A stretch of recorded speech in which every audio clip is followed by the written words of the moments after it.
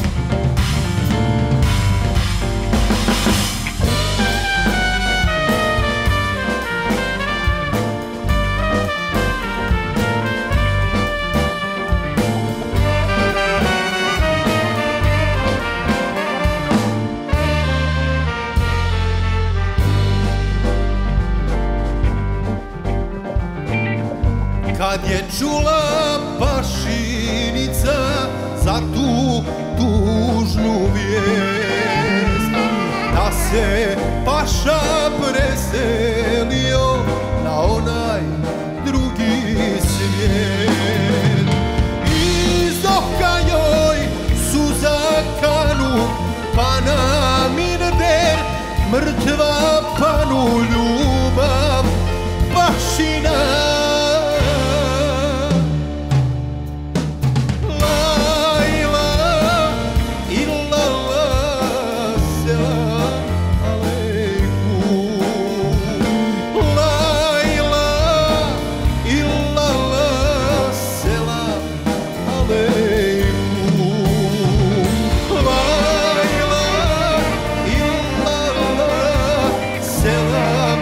away.